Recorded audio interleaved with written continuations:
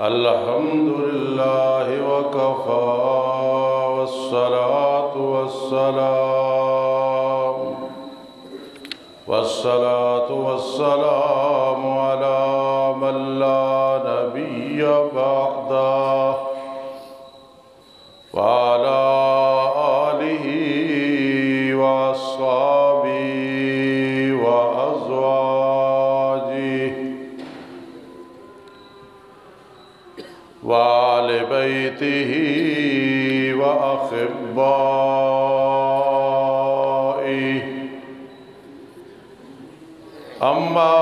بعد فأعوذ بالله من الشيطان الرجيم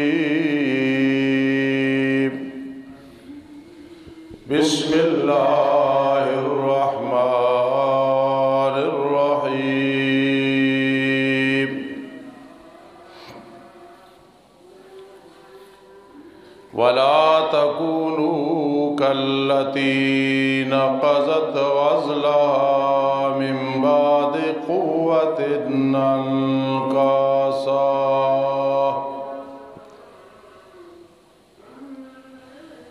تتخذون أيمانكم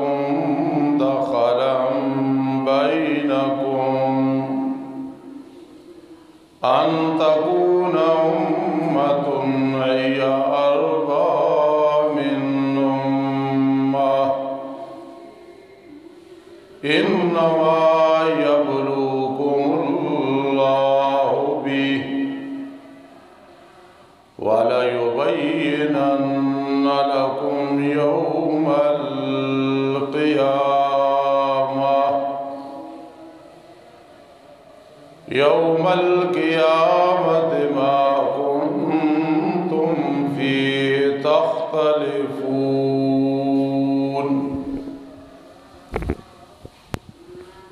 قال النبي صلى الله تعالى عليه وسلم، الغيبة أشد من الزنا.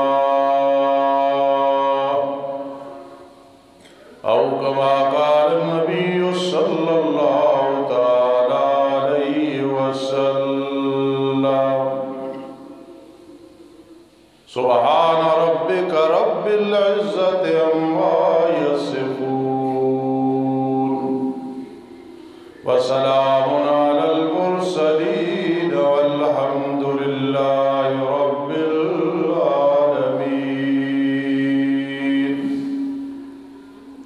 اللهم صل على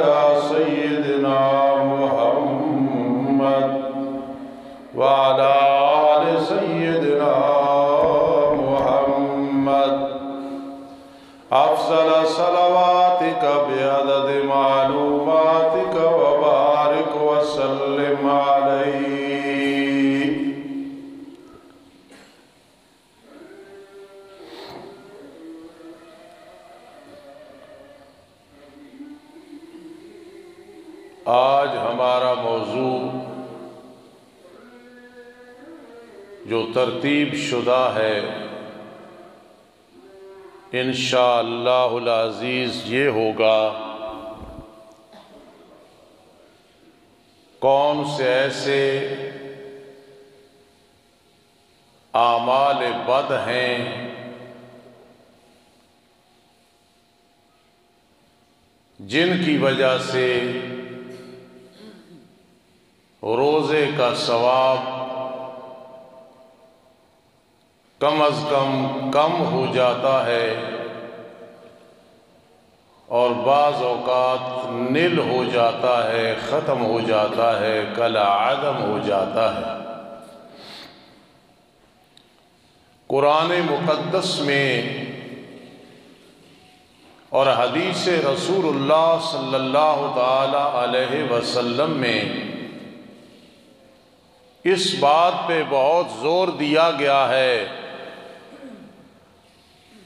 کہ انسان کو پتہ ہی نہیں چلتا اور اعمال کا ثواب ضائع ہو جاتا ہے۔ بار بار رب کائنات نے یہ سمجھایا۔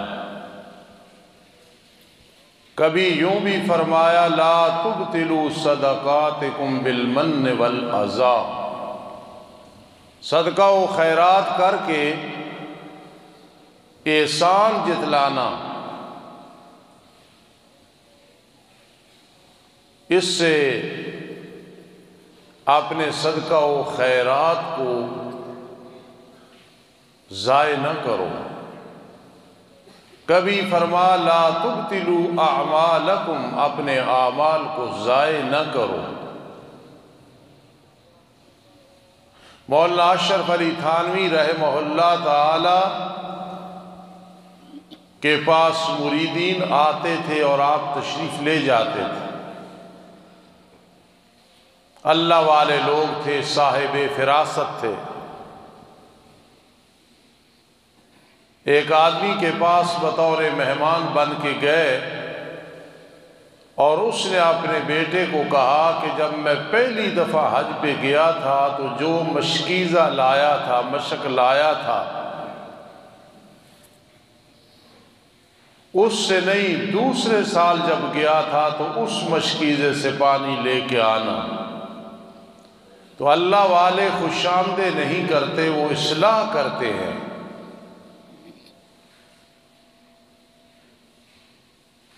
تو حضرت نے فرمایا کہ جملہ تو نے ایک بولا ہے کہ پہلے سال والا نہیں، دوسرے سال والا مشکیزہ جب میں حج پہ گیا تھا۔ اور ثواب تو نے دونوں حجوں کا ضائع کر دیا ہے کہ یہ ریاکاری ہے، دکھلاوا ہے۔ ہاں ایک علیحدہ بات ہے، ایک تعدیث سے نعمت ہوتی ہے۔ کہ آدمی کہے، اللہ کا مجھ پہ انعام ہے، میں اتنا شریف پڑھتا ہوں۔ اللہ کا کرم ہے، میں تہجد پڑھتا ہوں۔ یہ اگر اللہ کا شکر ادا کرنے کے لیے ہے، تو پھر ریاکاری اور دکھلاوا نہیں ہے۔ اور اگر دکھلاوے کے لیے ہے، تو پھر یہ ریاکاری ہے، دکھلاوا ہے، اعمال کو ضائع کرنا ہے اور ریاکاری شرک صغیر ہے۔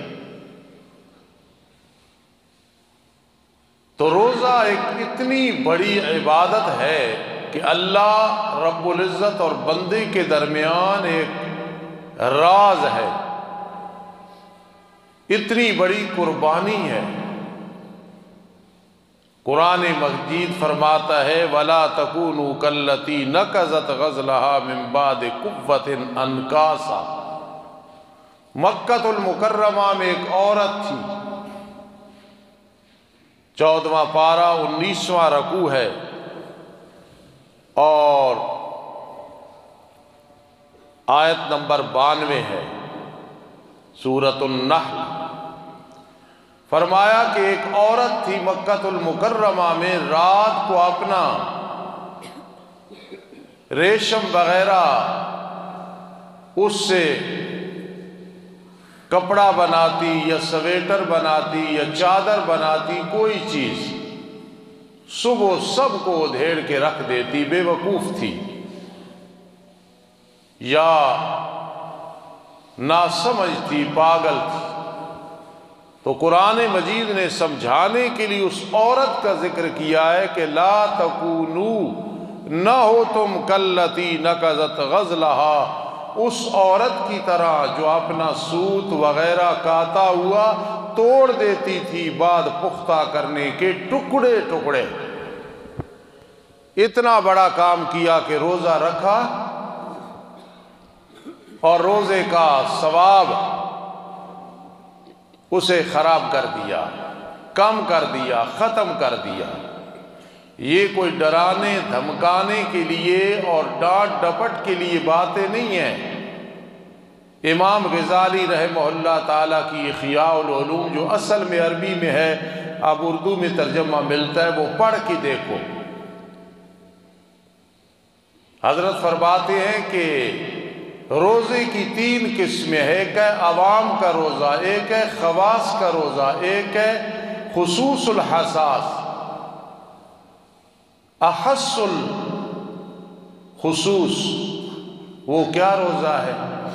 عوام کا روزہ کھانا، پینا ازدواجی تعلق سے پرہیز کرنا، یہ عوام کا روزہ ہے۔ نہ زبان پہ کنٹرول، نہ کان پہ کنٹرول، نہ آنکھوں پہ کنٹرول۔ یہ ایک عوام کا روزہ ہے۔ اس کو امام غزالی رحم اللہ، جو ولیوں کے اور تصوف کے امام ہیں اس لیے کہ ہماری کیا ضرورت ہے کہ ہم اپنی طرف سے کو بات کریں، صرف ڈرانے کے لیے نہیں۔ حضرت نے فرمایا، یہ عوام کا روزہ ہے۔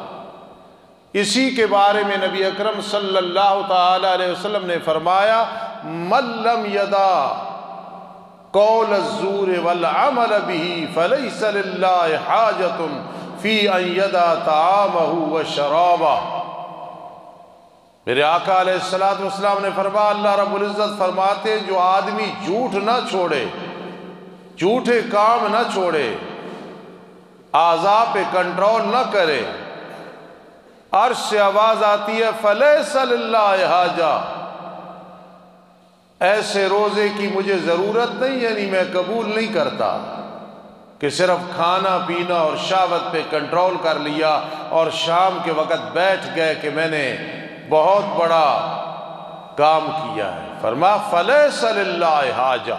اللہ نے سب کچھ ہمیں بتا دیا ہے۔ آگے ہماری خوش قسمتی یا بدقسمتی ہے۔ فرما، اللہ فرماتے فلح صلی اللہ حق بات بیان کرنے سے اگر کوئی ناراض ہوتا ہے تو کل اللہ اسی کو توفیق دیتے ہیں، وہ جوتیاں اٹھاتا ہے۔ اگر آدمی مداحنت کرے، بات نہ صحیح بیان کرے، تو آج جو خوشامد کر رہا ہے، وہ کل جوتیاں مارے گا قیامت کے دن، ناراض ہوگا۔ اس لیے اگر کوئی غیبت کرتا ہے، چگلی، جھوٹ، منافقت، آنکھوں کی حفاظت نہیں کرتا، وہ جتنا بھی بڑا امیر ہے، غریب ہے، صاف کہہ دو کہ تیرا روزہ عوام میں ہے۔ کوئی فائدہ نہیں، دس دفعہ تو غیبت کرتا ہے، نظروں کی حفاظت نہیں کرتا ہے۔ اور یہ کنجر خانہ جو تو نے جیب میں ڈالا ہوا ہے، لاکھ، سوا لاکھ کا، دو لاکھ اور اڑھائی لاکھ کا، جس میں تو غلط تصویریں دیکھ رہا ہے، غلط میسج پڑھ رہا ہے، غلط میسج کر رہا ہے۔ اور اس کو غلط استعمال کر رہا ہے۔ گجرات کے لیے اجتماع میں جانے کے لیے کرایہ نہیں۔ رائے گڑھ جانے کے لیے تین دن کا ٹائم نہیں ہے۔ اور موبائل پونے تین لاکھ کا ہے، ڈیڑھ لاکھ کا ہے، سوا لاکھ کا ہے۔ پچاس ہزار تو بات ہی کوئی نہیں۔ کسی دور میں یہ ہوتا تھا کہ اگر باپ کو پتہ چل جاتا کہ میرا بیٹا یا بیٹی فلاں کا نام بار بار لیتے ہیں تو وہ ماں باپ آگ بگولا ہو جاتے تھے، غصے ہو جاتے تھے۔ اللہ معاف کرے، آج پتہ ہے کہ بیٹی کے پاس یہ موبائل ہے، جہاں مرضی استعمال کرے۔ بیٹے کے پاس موبائل ہے، رضائی میں جہاں مرضی ہے، دیکھ رہا ہے۔ لیکن ٹس سے مس نہیں ہے۔ میں مبارک دیتا ہوں ان لوگوں کو جنہوں نے اپنے بیٹے اور بیٹیوں پہ اس معاملے میں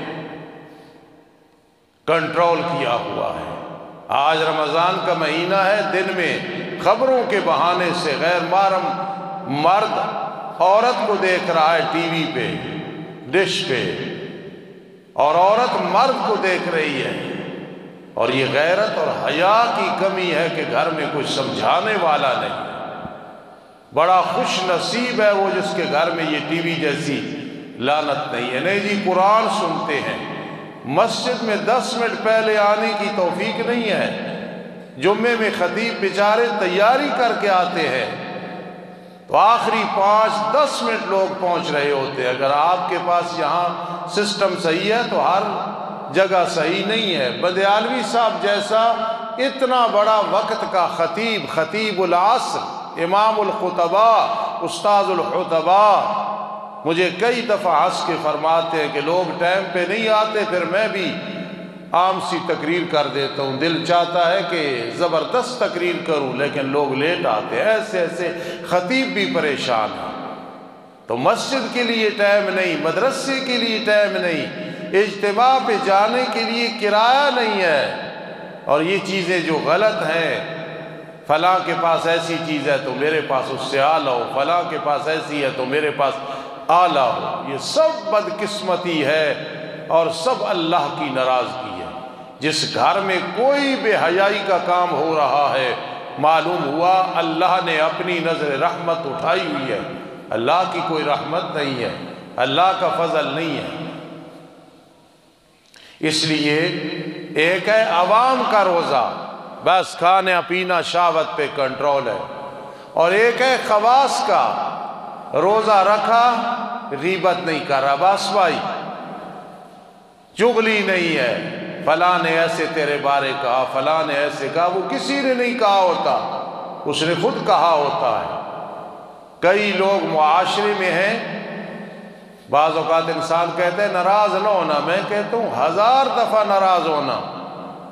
جن کا کام یہی ہوتا ہے ایک کو کہا، فلاں تیرے بارے آج یہ بات کر رہا تھا، فلاں تیرے بارے یہ کر رہا تھا۔ اس نے چائے پلا دی، اس نے سگریٹ دے دیا۔ ایک نیا گاہک بن گیا۔ عورت نے ایک کو بتا، کسی کو نہ بتانا، تیرے بارے فلاں بات کر رہی تھی، فلاں بات کر رہی تھی۔ تو یہ جو چگلی ہے، اس سے اپنے اعمال کو ضائع کیا جاتا ہے اور جھوٹ جب میرے آقا نے فرمایا یہ مذاق میں بھی جائز نہیں ہے۔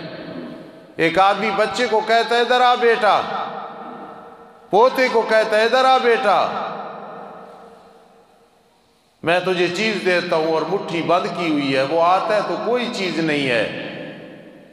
حتیٰ کہ حدیث میں ایک آدمی گھوڑے کو پکڑنے کے لیے ایسے کرتا ہے کہ وہ سمجھے کہ کوئی ہاتھ میں چیز ہے اور پھر ایسے کرتا ہے، کوئی چیز نہیں، تو یہ بھی جھوٹ ہے۔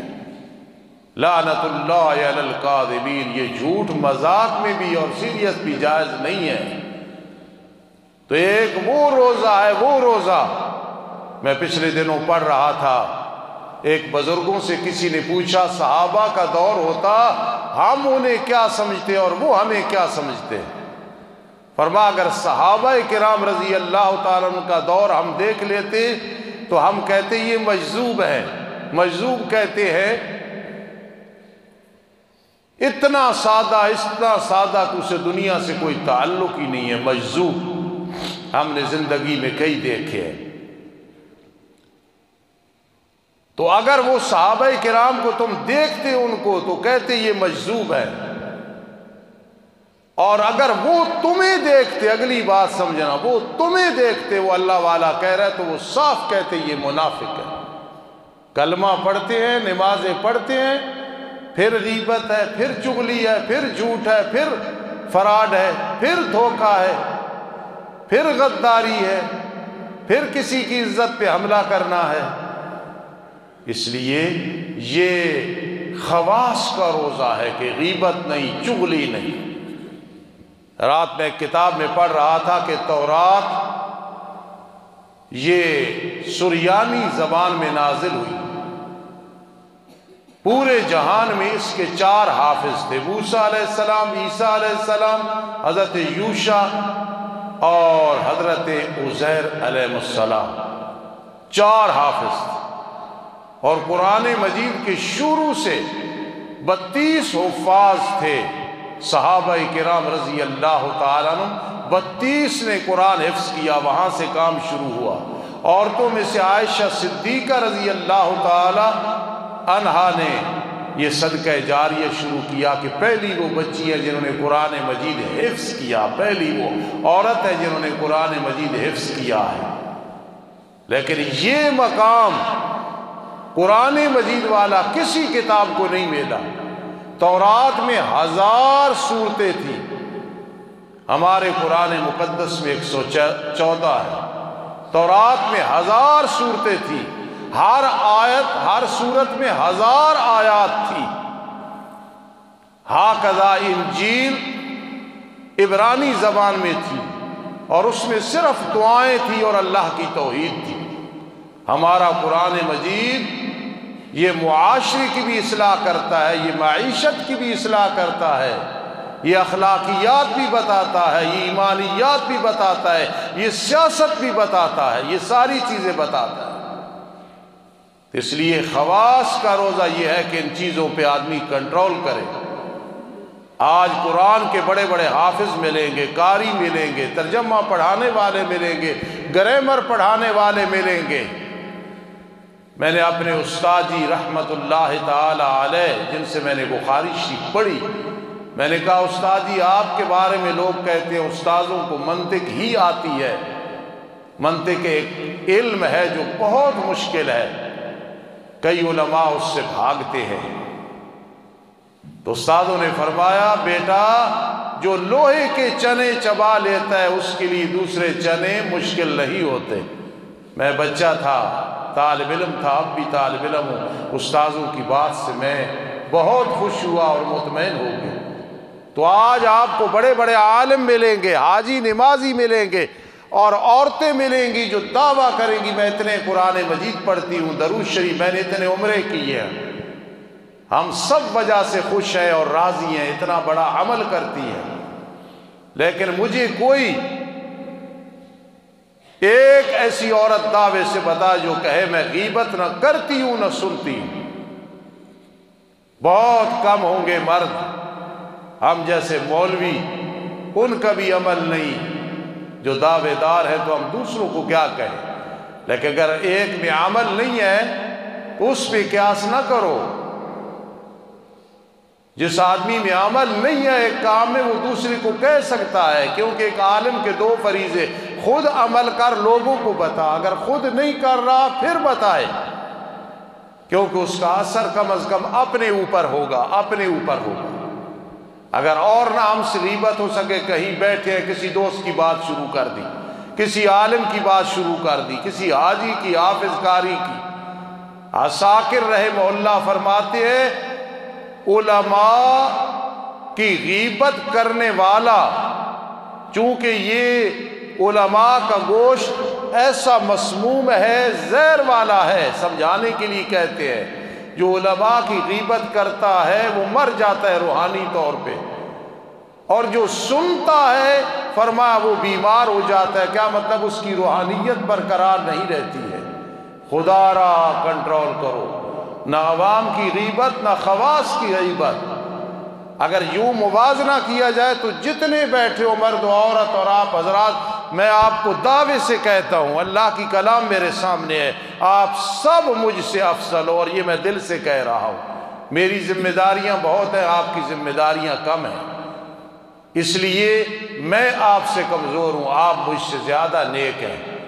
لیکن آپ کو اگر میں آپ کی تعریفیں کروں تو وہ بھی ٹھیک ہے۔ لیکن یہ جو غیبت، جھوٹ، منافقت، چغلی اور ان چیز نظر کی حفاظت نہ کرنا، بڑے بڑے او دعوے دار بیٹھے ہوتے ہیں۔ لیکن غیر محرم کو دیکھنا، عورت کو یا غیر محرم کا مرد کو دیکھنا، یہ ٹی وی میں جو کچھ ہوتا ہے، آج باپ برداشت کرتا ہے، سامنے بیوی، بیٹی، بہن بیٹھی ہے اور وہ غیر کو دیکھ کے کوئی نہیں برداشت کرتا۔ ٹی وی میں کیوں کرتے ہیں؟ حالانکہ اس کا بھی حکم ہوئی ہے جو باہر ہے۔ اس لیے ستاروں کے آگے جہاں اور بھی ہے جب آدمی نظر کرتا ہے پھر سمجھ آتی ہے، کچھ نہیں کچھ نہیں کچھ نہیں کچھ نہیں۔ اللہ اپنی رحمت ہی فرمائے۔ میرے آقا علیہ السلاۃ والسلام نے فرمایا، غیبت کرنے سے روزہ افطار ہو جاتا ہے یعنی ثواب بہت کم ہو جاتا ہے۔ آج چکھتے نہیں ہے چیز سونگتے نہیں ہیں، ڈرتے ہیں۔ ناک میں دوا نہیں ڈالتے، کان میں نہیں ڈالتے، کیوں؟ روزہ ٹوٹ جاتا ہے اور روحانی طور پہ جو کمزوری آتی ہے، غیبت کی وجہ سے فلاں ایسے کہ اس کے سامنے بات کرو تو وہ ناراض ہو۔ پیچھے سے کرو تو یہ غیبت ہے۔ نہیں جی ہے اس میں یہ چیز ہم کیا کریں؟ بھائی اگر ہے تو پھر ہی غیبت ہے، نہیں ہے تو پھر بہتان ہے۔ یقین کرنا، لاہور میں ایک بزرگ تھے، فوت ہو گئے۔ اللہ کی کروڑ ہاں رحمت ان کی قبر میں اپنی اصلاح کسی دور میں کراتا تھا، ان سے جو خط لکھتے تھے تو اس کا حضرت جواب دیتے تھے۔ مثلا میں نے کہا، دعا کرنا، اسی خط میں نیچے لکھ دیتے تھے، کرتا ہوں۔ ایک دفعہ میں نے لکھا، حضرت میں آپ کو مدرسے میں بلانا چاہتا ہوں۔ اسی کے نیچے لکھ دیا، نہ یعنی میرے پاس ٹائم نہیں ہے۔ میں نے ایک دفعہ لکھا، حضرت میں مشکات شریف پڑھاتا ہوں بیزاوی ایک چھوٹی سی کتاب کے بارے فرما اس کا مطالعہ کر کے مجھے بتا۔ ایک سال کے بعد بتا، تجھے مشکات پڑھانی مبارک، تجھے بزاوی پڑھانی مبارک۔ اتنے بڑے بزرگ تھے۔ اور وہ اپنے انداز میں فرماتے تھے، اگر میں روحانی آنکھیں کھولوں، ان کا مفہوم یہ تھا، لفظ نہیں، مفہوم یہ تھا کہ میں اگر روحانی آنکھیں کھولوں تو کو خنزیر نظر آئے کو بندر نظر آئے۔ پہلے میں نے کہا کہ صحابہ کرام کا دور ہوتا، وہ آج کے دور کو دیکھتے تو ہر کسی کو کہتے یہ منافقت ہے۔ دعویٰ ہے نبی علیہ السلام کے ساتھ محبت اور غلامی کا۔ اور پھر غیبت کر رہا ہے تو غیبت سے روزہ ٹوٹ جاتا ہے یعنی ثواب بہت کم ہو جاتا ہے، جھوٹ سے کم ہو جاتا ہے، چگلی سے کم ہو جاتا ہے۔ پھر پیچھے کیا رہے گا؟ ایک بزرگ تھے وہ فرماتے تھے کہ ایک آدمی آ رہا، بلکہ وہی بزرگ جن کا پہلے میں نے تذکرہ کیا کہ ایک آدمی نے چوڑیاں اٹھائی ہوئی دوسرے آدمی نے ڈنڈا مارا اور پوچھا، یہ کیا ہے؟ اس نے کہا، ایک اور مارو تو کچھ بھی نہیں ہے۔ تو یہ غیبت اور چگلی اور جھوٹ اور جھوٹی قسمیں ون نظر و بشاوت یہ پانچ چیزیں ایسی ہیں کہ روزے کے ثواب کو کل عدم کر دیتی ہیں، کمزور کر دیتی ہیں۔ تو آج ہمارا موضوع کیا تھا اللہ کے فضل و رحمت سے کہ یہ جو اعمال ہے یہ روزے کو نقصان پہنچاتے ہیں۔ خدا را میرے سمیت ایک دوسرے کی خوش آمدیں۔ تعریفیں ڈرنا، رازق بھی وہ ہے، مالک بھی وہ ہے، خالق بھی وہ ہے۔ ہم نے زندگی کتنے لوگوں کی غیبت کی، کیا نقصان پہنچے ان کو؟ کچھ بھی نہیں پہنچے ہماری کتنی میری اور آپ کی غیبتیں ہوئی، ہمیں کیا نقصان پہنچا ہے؟ ہم اپنے اعمال کی فکر کریں، بہت مشکل گھڑی ہے جو ہم نے قبر میں جانا ہے۔ میرے آقا نے فرمایا ایک دفعہ تدفین کے وقت، یہ وہ شخص ہے کہ موت آئی تو عرش عرش نے حرکت کی، لیکن قبر نے اس سے بھی حساب لیا ہے۔ بہت مشکل گھڑی آنے والی۔ کوئی کہے ماشاء اللہ اب بے فکر ہے، اللہ اور بے فکر کرے، لیکن بہت بڑا ایک ہنگامہ آنے والا ہے فیضا جات الطامت القبرا ایک تو وہ قیامت ہے، ایک موت کے وقت جو ہنگامہ آنے والا ہے، اس کی تیاری کے لیے ساری اپنی روحانیت کو برقرار رکھنا ہوگا۔ کئی لوگوں کے پاس بیٹھو نا، دل نہیں چاہتا کہ بیٹھو۔ یہ سمجھ لو کہ ان کی بدعمالیاں ہیں۔ اور کئی لوگ ہیں بیٹھو تو جی چاہتے ہیں، بس بیٹھے رہو بیٹھے رہو بیٹھے رہو۔ یہ اعمال کی خوشبو آ رہی ہوتی ہے۔ خدا را، ہم سیدھے سادے مسلمان اور مومن بن جائے اور آج اگر میرا ہزار روپے ضائع ہونے لگے تو آج اشرف صاحب کہیں گے عبد القدیر کا استاد ہی پیسے ضائع ہونے لگے۔ نو لو، یہ چیز دو نمبر چیز ہے۔ لیکن ہم اگر غیبت کر رہے ہیں، چولیاں ہے کوئی ایسی چیز ہے، ایک دوسرے کو منع نہیں کرتے۔ ایک بزرگ فرماتے تھے، میرا ایک عزیز فوت ہوا تو ہر آدمی نے تعزیت کی۔ زندگی میں میری ایک جماعت رہ گئی تو کسی نے تعزیت نہیں کی۔ کتنی بڑی عمل کی فکر تھی۔ اس لیے زندگی کا پتہ نہیں، اعمال کرو، پھر توحید والی روح ڈال کے انہیں زندہ رکھو۔ پھر یہ بد اعمالیاں ہم کر کے اپنے اعمال کو ضائع نہ کریں۔ انشاءاللہ العزیز، کل جو آگے موضوع ہوگا، غالباً اخلاص ہے۔ انشاءاللہ اس پہ بات ہوگی۔ وما علینا الا البلاغ المبین سنت پڑھ